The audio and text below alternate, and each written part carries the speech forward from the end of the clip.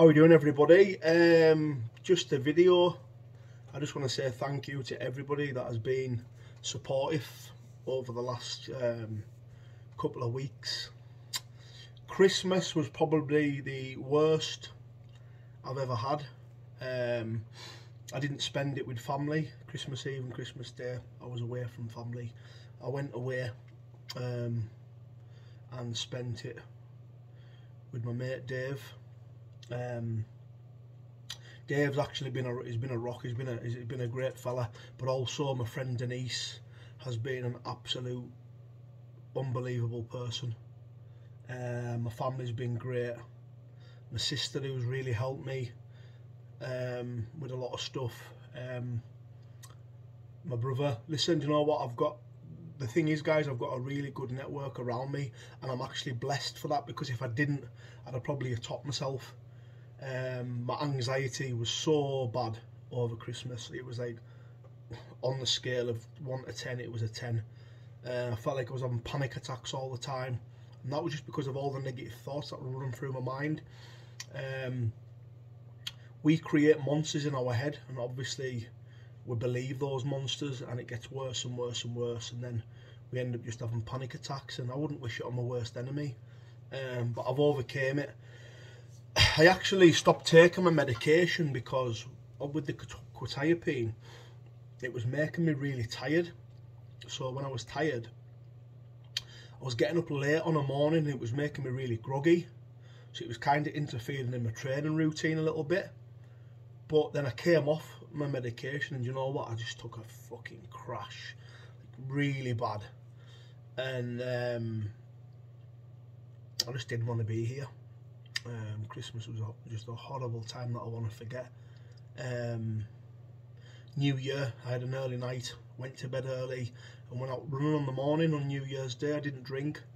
Um, do you want to know something? Um, I'm back seeing my mental health team now. Back on my medication, I'm taking my anxiety tablets, the quetiapine for my bipolar, and I'm also taking CBD oil from Orange County CBD. They actually reached out to me to help me, and I just want to thank them as well because you know what?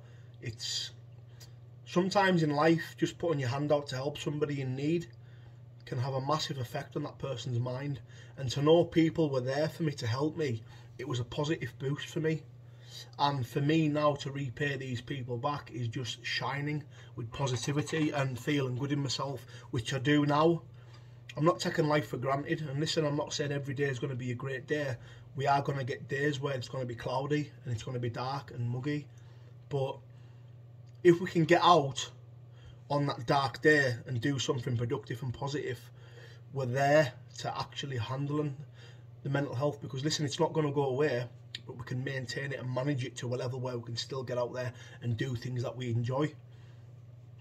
2022 is going to be a big year and I'm so fucking focused and I'm going to smash it. I'm going to create a massive podcast.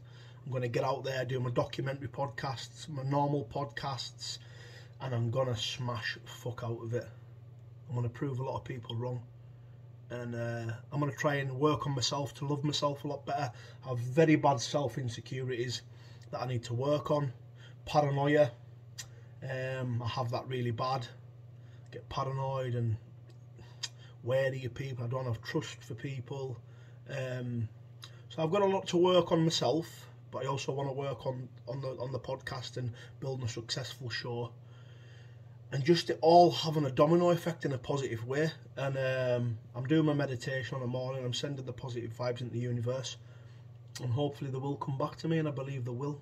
Um, but like I say, man, thank you everybody.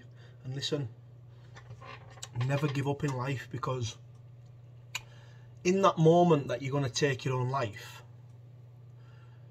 that switch of nothingness, you don't feel anything, no emotion you just don't want to be here and you don't think the consequences you're leaving behind, your family, your friends, your loved ones, you just want to get out of there.